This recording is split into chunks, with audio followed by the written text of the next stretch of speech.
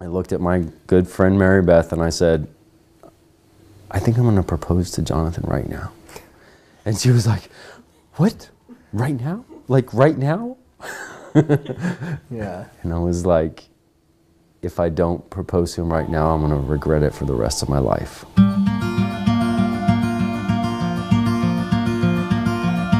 The San Diego Pride Parade was happening and we were planning a trip out there, but honestly, we didn't even realize that the Pride Parade was happening in conjunction with our trip.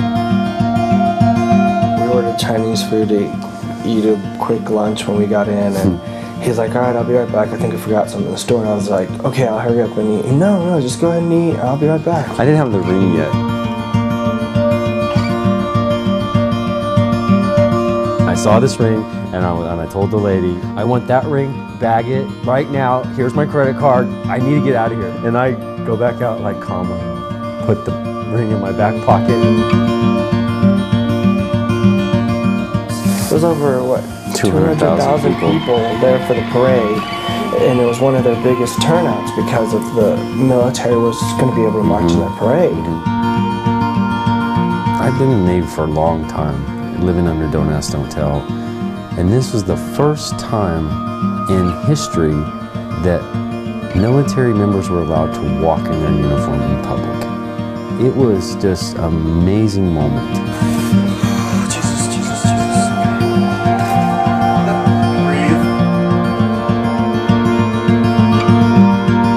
Like overwhelming, like, oh my gosh, like this is history.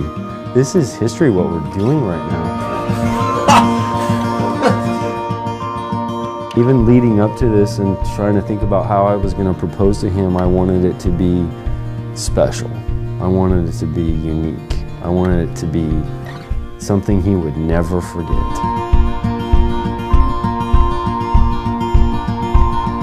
And that's when I decided that in the middle of the parade, I was gonna propose to him. And I just walked right up to him in the middle of the street. And I'm like looking at him like, what's going on? Are you are you okay? Do I need to go over there to take the picture? Got down on one knee. This moment happened. when they say that moment freezes in time, it really does. And it froze for me too. Like it was almost if nobody else existed at this point. And the sailors that we were walking with just kind of surrounded us and were jumping up and down and screaming. It was just really spectacular.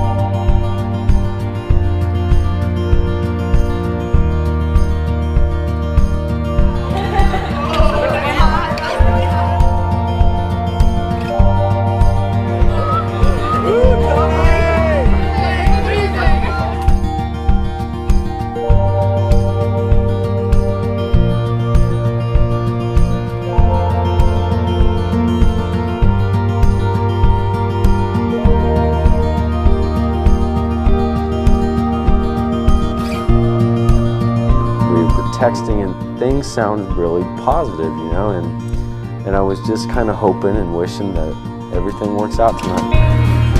Please, this one is already there. And so I was like, I made a decision that as soon as he walks up, the first thing we're gonna do is make a wish in this fountain. On our first date, we made wishes in the fountain at Jackson Square. And I said, close your eyes, make your wish, and throw the coin into the fountain. We have not shared that wish with each other until now.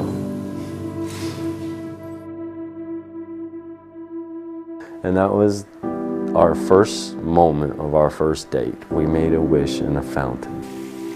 My wish was that we both would find happiness in our lives, even if this was our only date.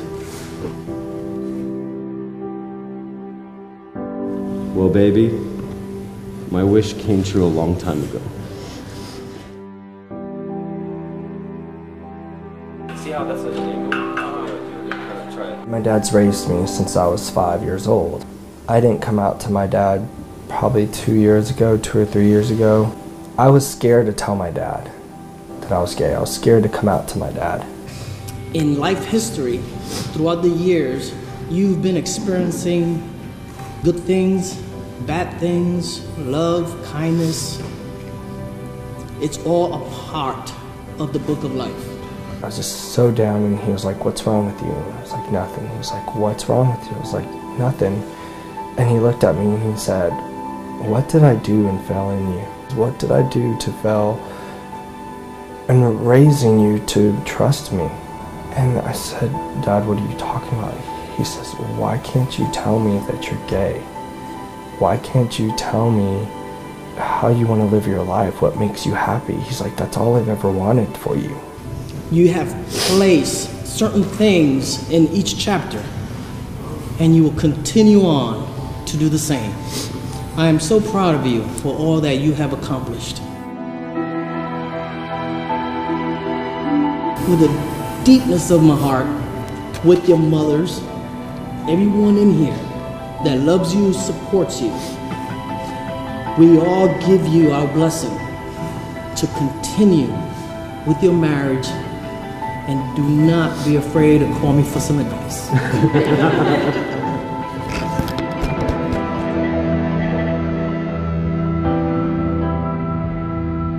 And I'm so proud of both of them, you know, not just for being in this relationship and being committed to each other, but for other couples that aren't doing this yet, but now you guys are giving them the courage to do that. I'm proud to be a part of this. I love everyone.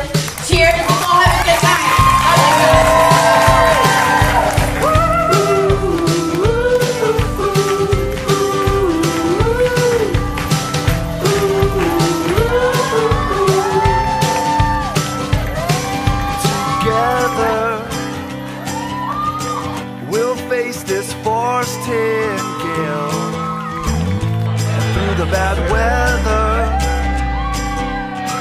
We'll work and put up a sail. We'll leave the land, the land behind. We'll Jonathan and Dwayne, by their promises before God and in the presence of this assembly, have joined themselves together as husbands. Those whom God has joined together, let no one separate. The grooms may now kiss.